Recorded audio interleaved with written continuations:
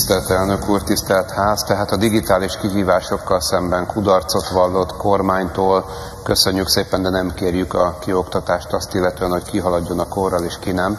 Természetesen mindenki szeretné azt, hogyha egy okostelefonnal több mindent lehetne elintézni, és én azt is támogatom, hogy ne kelljen a fizikai iratokat magunkkal hurcolnunk mindenhová. Tehát az alapvetésekkel nyitai képviselőtársam önnek címzem.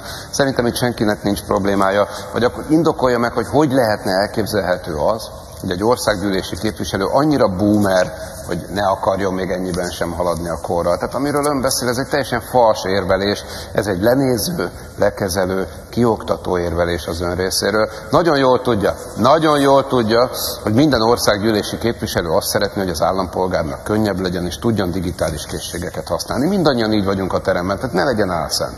A probléma az, és megkönnyítem a dolgokat, nem a saját szavaimmal szembesítem önöket, hanem az egyik miniszterük szavaival, hogy látják ezeket a kihívásokat, és mégsem teszik meg azt, amit meg kellene tenni.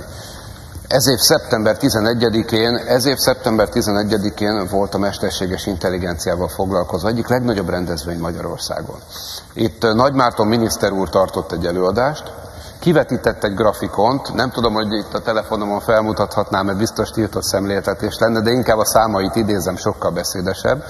A Nagymárton által kivet, kivetített grafikonról az derül ki, hogy az egész Európai Unión belül Magyarországon veszélyezteti a legtöbb munkahelyet a mesterséges intelligencia térnyerése. A munkahelyek 36%-át veszélyezteti közvetlenül vagy közvetve. Nem láttam azóta olyan kormánypárti törvényjavaslatot, amely ezt a hatást csillapította volna. A számok kedvére az OECD átlag is csak 26 százalék, Svédországban 20 százalék alatti vagy környéki az a szám, és ott egyébként tesznek érte. Tudják, mit lehetne tenni? Hogy a digitális korral szemben valóban legyen egy védő pajzsunk. Önöknek arról kéne beszélniük, kormányzati felelősség tudatában, hogy mit tesznek, hogyan segítik azokat a honfitársainkat, akik a mesterséges intelligencia miatt a következő tíz évben elveszítik a munkahelyüket. Van önöknek erre vonatkozó koncepciója? Én nem tudok róla.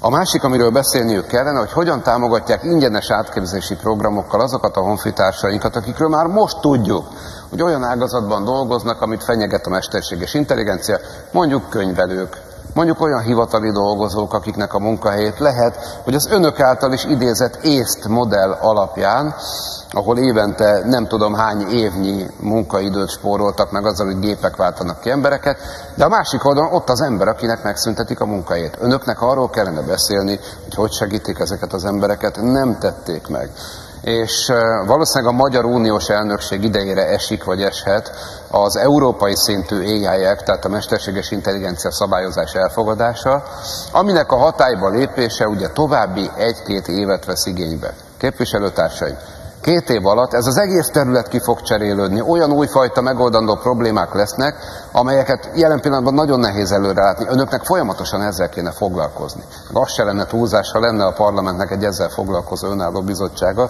de nem teszik ezt meg. Ezzel szemben a Nagymárton által kivetített papíron azt láttuk, hogy digitalizáció tekintetében a 22. helyen áll Magyarország az egész Európai Unión belül, tehát egy elképesztően hátul vagyunk találhatók a rangsorban. Önmagában az a digitális állampolgárságról szóló csomag, amely már meglévő szolgáltatásokat ránc felvar, és egyébként garanciákat nem tesz bele, és aggályokat nem kezel, ezen nem fog segíteni. Tudják, mi volt még a Nagy Márton által kivetített másik dián?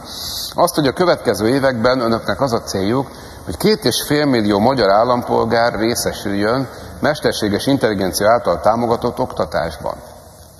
Tehát olyan, olyan brutális célokat fogalmaznak meg, nyilván a laikus által is belátható módon megvalósíthatatlan célokat, amely a nagyotmondás kormányává teszi önöket, és nem tesznek a valóság terében azért, hogy megvédjék a honfitársainkat fogyasztóvédelmi visszaélésekkel szemben, bankokkal szemben, biztosítókkal szemben. Még a webshopok szintjén sem tudtak rendet tenni. Egy ilyen egyszerű Black Friday, Black Friday környék ilyen fogyasztóvédelmi rémálom közepette. Tehát tényleg, amit csinálnak a magyar állampolgárok, fogyasztókkal, vásárlókkal, digitális adataikat felhasználva, az egy rémálom. Államtitkár úr, önnek válaszolni kellene arra, hogy az önök mérései szerint hány munkahelyet szüntet meg Magyarországon a digitális kor a mesterséges intelligencia jelenleg meglévők közül.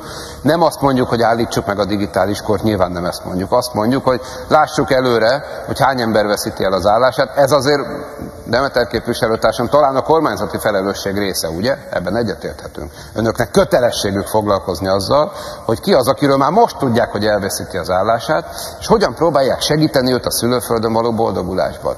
Kérem továbbá, hogy jelöljék meg azt az ingyenes átképzési programot, amely erre alkalmas lesz, a digitális kor kihívásaival szemben, és a mesterséges intelligencia által okozott elképesztő, felfoghatatlan turbulens változásokkal szemben.